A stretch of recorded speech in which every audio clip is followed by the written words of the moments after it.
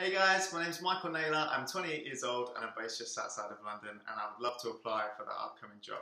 Uh, I have compiled a little bit of footage, um, but it's mainly me just sort of playing around physically and, um, and playing with movement. Um, some of it's on stage, some of it's not on stage, but unfortunately I can't use a lot of the stage footage due to copyright.